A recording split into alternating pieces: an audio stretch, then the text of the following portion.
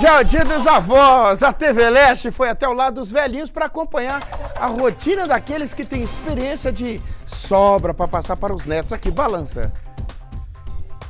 No lar dos velhinhos, os idosos contam com benfeitores, como se fossem uma família, e os doadores, que seriam filhos e netos. Juntos com os colaboradores, eles formam uma família solidária. Tudo para cuidar bem dos idosos. A família somos nós, a família que está aqui no dia a dia, presente 24 horas aqui no Lar dos Velhinhos, junto com eles, ouvindo, né, ansiosos com os seus sonhos, as suas angústias, compartilhando momentos tristes e momentos felizes, como essa data de hoje nós consideramos como os netos, né?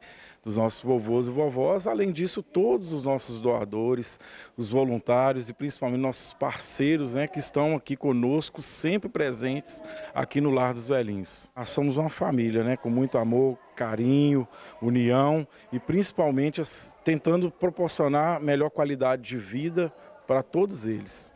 O Lar dos Velhinhos hoje abriga 34 moradores. O gasto é de quase 4 mil reais por cada vovô ou vovó, entre medicação, alimentação e quadro de funcionários.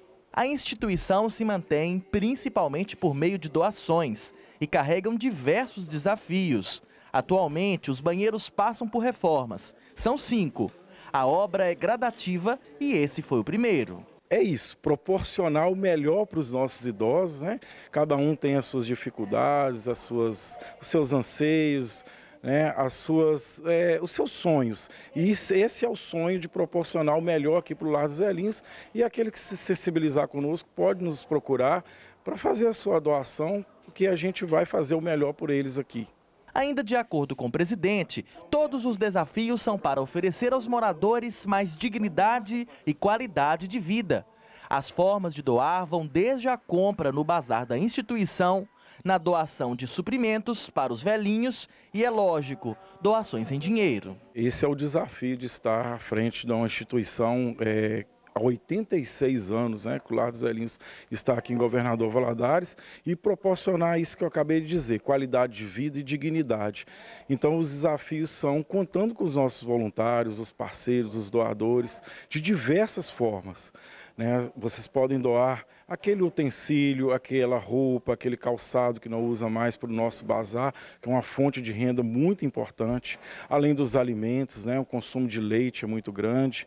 Né? É, são seis refeições durante o dia barra noite aqui no Lar dos Velhinhos.